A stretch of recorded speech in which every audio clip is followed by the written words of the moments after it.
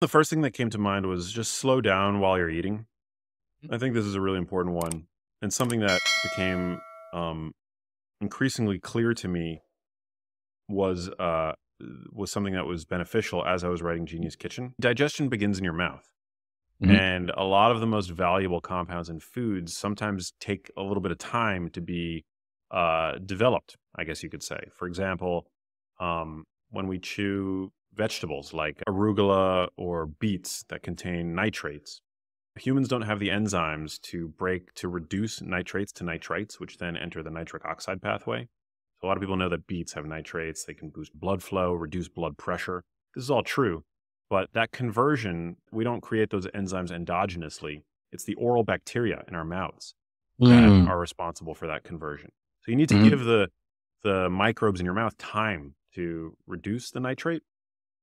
And so slow down when you're chewing, especially um, veggies like beets, like arugula. Um, many other reasons to to slow down while eating, but um, that's just one of them. So take the time, recognize that digestion begins in the mouth. This is not a metaphor. This is like reality.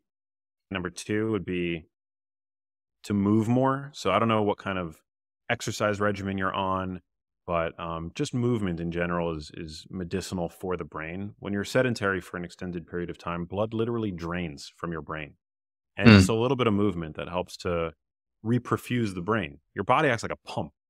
There was a Mhm. study that, a couple years ago that found that just being um, submerged underwater with your head out, the pressure on your body caused an increase in blood flow to the brain. So moving your body very important with Even walking, walking is good for. even walking yeah i mean walking is Mhm. great i mean we say even walking like it's like this like minimally viable um effort but it really is like i mean we're engineered to walk humans so Mhm. walk Mhm. more i would say three you really have to focus on your sleep and make sure that you're dialing in your sleep sleep quality and sleep duration are both important one of the most effective things that you can do is try to get to bed roughly around the same time every night one of the most important ways to encourage good quality sleep of sufficient duration is to exercise during the day. But not just any exercise. New research is showing that it's resistance training in particular that can help boost sleep quality more so than aerobic exercise. It helps build what's called sleep pressure, which is the phenomena that basically encourages you to, to pass out once your head hits the pillow. If you don't build up enough sleep sleep pressure over the course of the day, or if you diffuse that sleep pressure with naps, you're just not going to sleep as well that night. So making sure that you are building adequate sleep pressure and you're being fairly consistent with your with your sleep schedule. Four, I would say sweat regularly. Um I am not a big sweater when I exercise, but I love saunas. Mhm. And uh big big part of my health routine is is sweating regularly in a sauna. We know that certain xenobiotic compounds are excreted in our sweat when we uh, when we sweat. So making sure that you're doing that on a regular basis and also hydrating well afterwards. That's really important. Making sure that you're getting in your electrolytes. Um, crucially important. And then lastly, exposure to sun. Sunlight, you kind of alluded to, really important for anchoring our body's circadian rhythms, but also it's not just that, it's not just the vitamin D that we create. The sun on your skin creates all these other beneficial compounds. Like I mentioned, nitric oxide.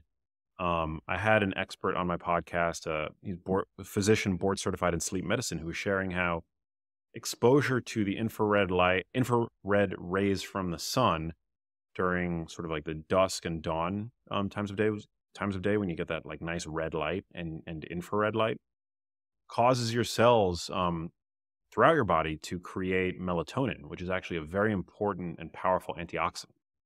Um, in your periphery, we often think of melatonin as being this like sleep hormone, right? Created in our pineal gland.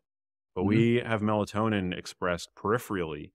And it turns out that exposure to the infrared ray infrared rays from the sun actually spur this this melatonin generating process, um, which helps to keep us young and is a is a chemoprotectant. It helps fight cancer, aging.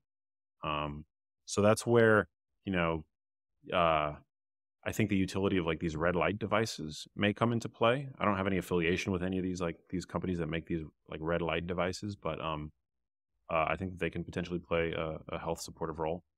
If you like that video, you're to love the next one.